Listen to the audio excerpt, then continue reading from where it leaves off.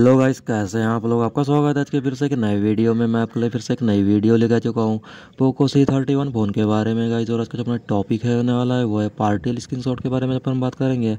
मैं आपको बताऊँगा आप अपने फ़ोन में किस प्रकार से पार्टियल स्क्रीनशॉट ले सकते हैं। कुछ इस प्रकार से मैं आपको डेमो दे दे रहा हूँ, गाइस। देखिए, ये है पार्टियल स्क्रीनशॉट आप उसको किस प्रकार से अपने फ़ोन में ले पाएँगे, मैं आपको बताऊँगा आज के वीडियो के अंदर। आप उसको किस प्रकार से सेटिंग को ऑन करेंगे? सेटिंग कहाँ मिलेगी? चलिए बात करते हैं। बात करने से पहले आप हमारी वीडियो को लाइक कर लीजिए चैनल पर नए सब्सक्राइब कर लीजिए और बेल के आइकन को भी प्रेस कर लीजिए। अपन चलते हैं फ़ोन की सेटिंग में। सिंपली देखिएगा सेटिंग में चले जाना है और यहाँ पे आपको ऑप्शन मिल जाएगा एडिशनल सेटिंग का। आप इस पर क्लिक करेंगे और फोर्थ नंबर पे आपको दिखेगा बटन शॉर्टकट का ऑप्शन मिलेगा। आप इसको क्लिक करेंगे और यहाँ पे आपको देखिए थर्ड नंबर पे पार्टियल स्क्रीन का ऑप्शन मिलेगा।